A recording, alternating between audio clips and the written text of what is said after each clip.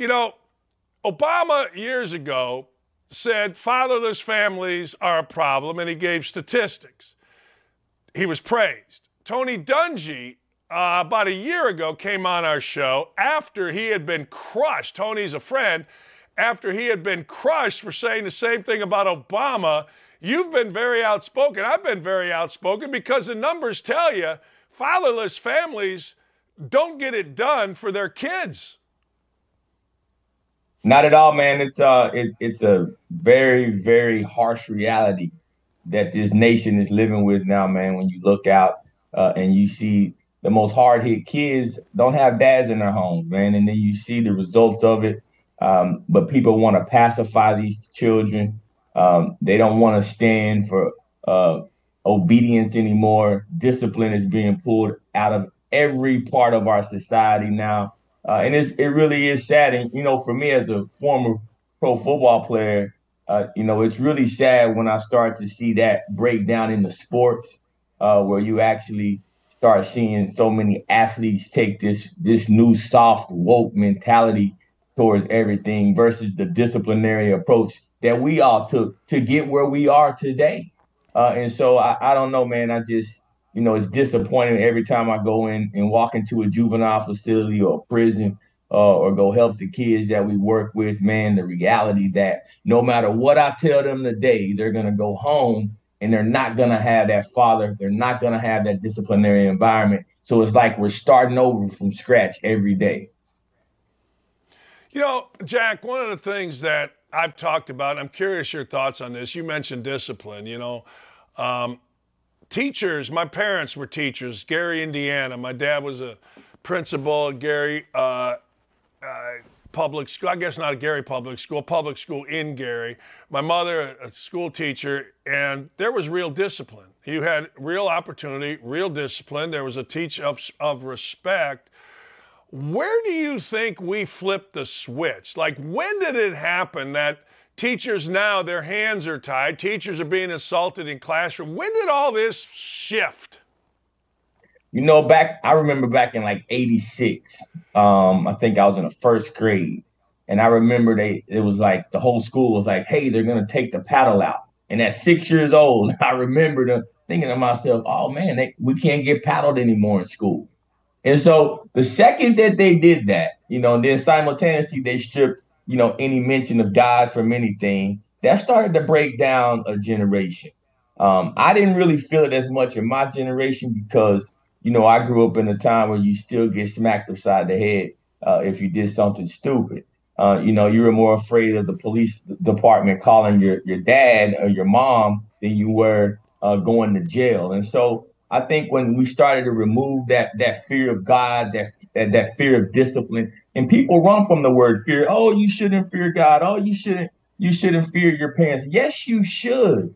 That fear is is based in love because that means that you respect them. And so when you remove that respect, and that's what Obama was saying, that's what Dungy was saying. But now it's like only certain men are willing to continue um, to talk about that. You'll never hear Obama make a speech like that again. And that's unfortunate. Right now is when we need him the nation probably needs him more now than it ever has needed him, particularly as a as a, a man of color uh, that can go and speak into these kids as we see them harassing our streets in Chicago and Baltimore and all over the country. You know, we're seeing them younger and younger going to prison. I was in a prison yesterday um, in the panhandle of Florida, met a guy who's been in prison since he was 14 years old, and he's over 55 now. Think about that, man. Like we got kids being locked up for the rest of their lives, but we have these politicians that have uh, been blessed with this ability to speak into these children, and they're not doing it. And that goes for athletes, man. Why is it considered? Because I would argue that white kids without fathers get in hmm. trouble, and the numbers bear it out at a, at a far greater rate why is it considered racist? Is saying it's racist just an easy take? Yeah, of course it is because it it, it goes at the emotional fabric uh, of our nation right now, right? We've created a victim uh, culture where kids are told, man, you tell a kid from five, six, seven years old, um, that you know this color of skin means this and that color of skin uh, skin means this and that one you know is is superior over the other and one has been oppressed over time you start getting that into a kid's psyche you society can use that for any excuse i mean i was listening to the transportation secretary the other day talking about the roads and streets are racist I mean, this is think about that. You know, I remember growing up, the the, sec, the the Secretary of Transportation for the U.S. government. That's a big deal. You look up to these people, and to hear him saying nonsense like that, imagine how that's going to continue to snowball uh, in the mentality of our kids. That's what we're creating right now. It's so easy. That means you, you don't have to be accountable, no matter what job you're doing. Oh man, I, I tried to do it, but it's racist. You know, it's like it's become uh, this this stigma that uh, that that really is manipulation when you look at it.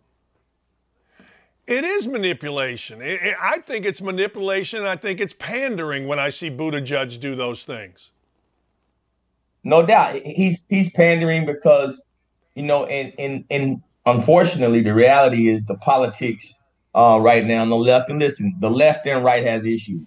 I'm not here saying one one one is is great and the other one is not. But I know one thing that um, politicians on the left right now, uh, they have a safe haven, and their safe haven is race. If they talk about skin color, they can run into that box. So it doesn't matter the fact that you know our our our airlines and our transportation sector and, and our and our imports and exports coming in and out of this com- country uh, is the worst that it's been I know in my lifetime. Uh, and so the, the job that you do doesn't matter anymore because you can just go straight to the race debate uh, instead of actually honing in on the root cause issues um, that are affecting the, the people of this nation. That's what's so sad, man. You're an NFL player, ex player, you're an NFL ex captain. How does that equate into sports?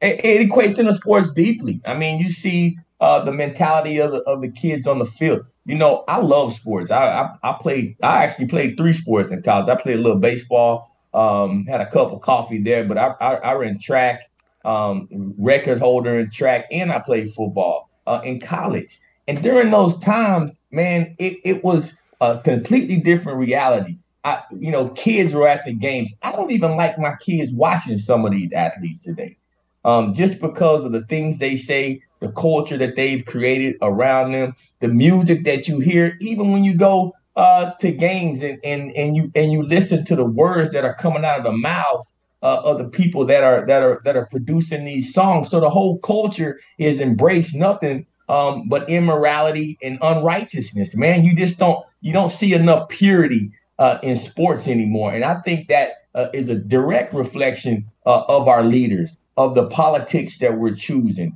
You know, whether we're talking about, you know, girls and boys and, and men playing against women and people advocating for that and recreating what righteousness means, re- recreating what equality means, and really going against everything that this nation was founded on. You know, the American dream for a lot of people has changed.